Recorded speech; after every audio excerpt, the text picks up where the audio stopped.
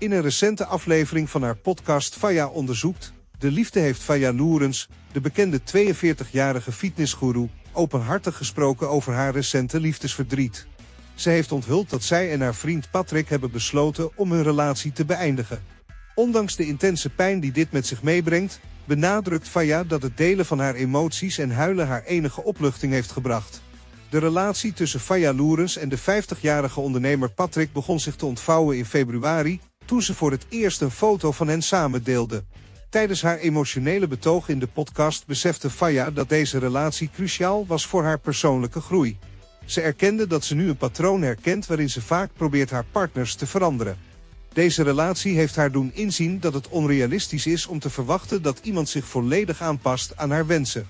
Ze deelt met haar luisteraars dat dit een confronterende maar noodzakelijke les is, hoe pijnlijk het ook mag zijn.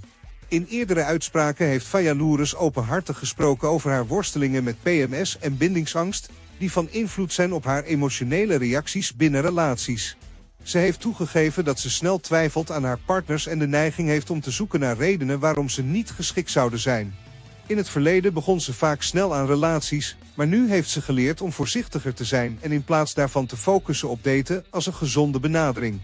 Dit inzicht heeft haar geholpen om te voorkomen dat ze te snel in een relatie stapt, met alle verwachtingen van dien.